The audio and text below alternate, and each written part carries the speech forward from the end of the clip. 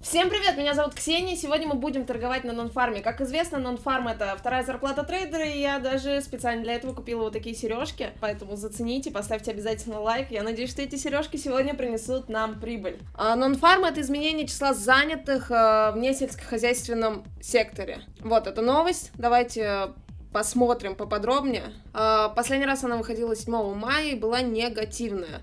А, вот, э, в принципе, тут есть все описание данной новости. И вот э, главное, что написано, что показатели выше ожидаемых рассматриваются как позитивное бычье направление. Так, мы с вами будем открываться на долларе мексиканца.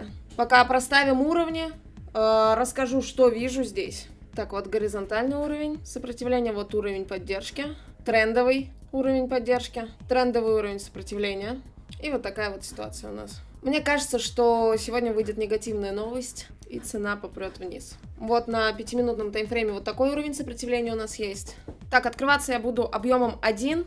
Чуть позже в видосах буду объяснять, э, как высчитывать объем и так далее. Я открываюсь объемом 1, и если что, буду еще один докупать для подстраховки. Так, просто пока схематично скажу, если я открываюсь э, в данном случае на объем 1, то я не нарушаю правил money management, а у меня правила money management, что на такие крутые новости я вхожу не более 10% от своего депозита. В принципе, тут у меня сейчас все готово, остается дождаться выхода новости, и суть будет такая, что если новость выйдет зеленая, я буду э, заходить в лонг. Если новость выйдет красная, я буду заходить в шорт. Э, лонг это на повышение, шорт это на понижение. У нас остается буквально пару минут до выхода новости.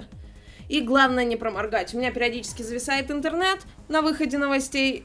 Но посмотрим, что из этого будет. И пока будет идти как раз-таки сделочка, я вам расскажу суть вообще, как я открываюсь по нонфарму. На самом деле, очень нервничаю, очень волнуюсь.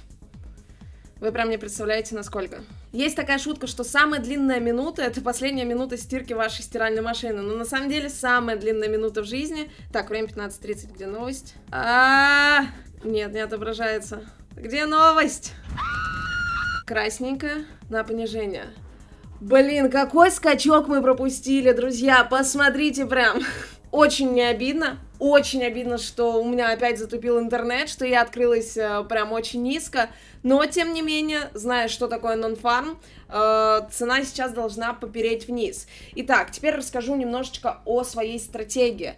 Э, смотрите, я открылась на объем 1, далее я жду. Вообще, мне хотелось бы сегодня заработать 500 долларов. Но, в принципе, я сейчас буду сидеть, наблюдать за сделкой, и как только у меня появятся сомнения, я сразу буду закрываться. То есть, э, сейчас задача просто ждать. Цена пока он несется в прибыль, плюс 175 и так далее. Будет сейчас какое-то время большая волатильность. Я думаю, что в течение часа я закрою эту сделку. А, если цена еще немножечко поднимется, я еще открою, думаю. Так, а вот сейчас, кстати, цена находится у уровня. Вот эта ситуация, посмотрите. Вот он уровень, который цена сейчас пытается пробить. А, здесь был треугольничек, этот уровень ранее был сопротивлением, он пробился с помощью треугольничка и сейчас превратился в поддержку. Но я думаю, что цена его пробьет, просто это вопрос времени. И вообще потенциал движения вот до отсюда.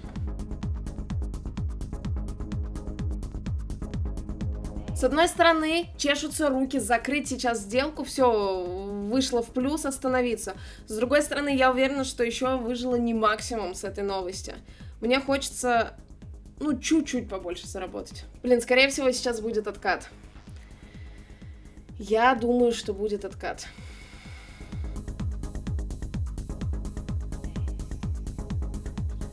Эта штука называется коррекция. Это просто значит, что цена сразу сходу так этот уровень не пробила.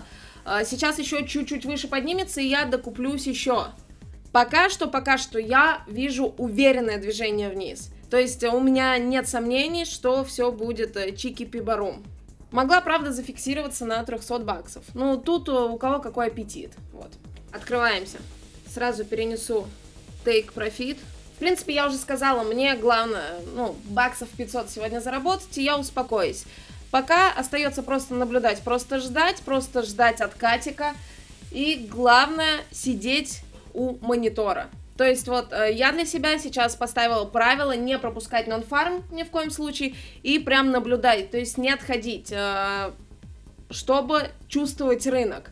Даже с учетом того, что я сейчас поставила take profit, на каком-то моменте может быть затуп. И я могу почувствовать, что нет, блин, я лучше закроюсь раньше, лучше получу меньше прибыли, но закроюсь. Лучше смотреть вот эти микродвижения, как рынок реагирует. И, конечно же, вот э, я выбираю пару доллар-мексиканец.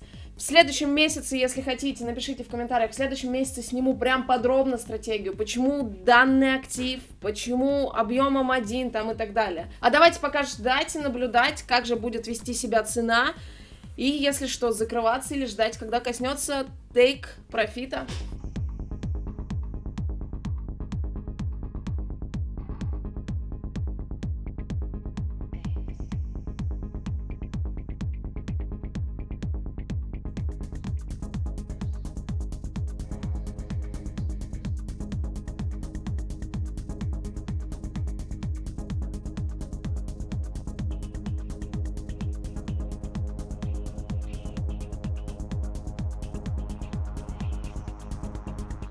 Так, все, друзья, закрываю. А, не дождалась я, пока цена коснется у меня тейк профита. Я решила закрыться раньше, потому что план по заработку у меня на сегодня выполнен. А я для себя уже сделала вывод, э, что, блин, зачем я жадничаю ежедневно? Лучше уж я заработаю столько прям, сколько вот мне захотелось. Конечно, цена сейчас и упадет вниз, я уверена, но я зато буду весь день ходить в хорошем настроении, что у меня есть заработок. В общем, я надеюсь, что это видео вам понравилось. Если это так, ставьте огромный палец вверх, жмите подписаться на канал. Всем хорошего настроения, всем огромного профита, всем пока!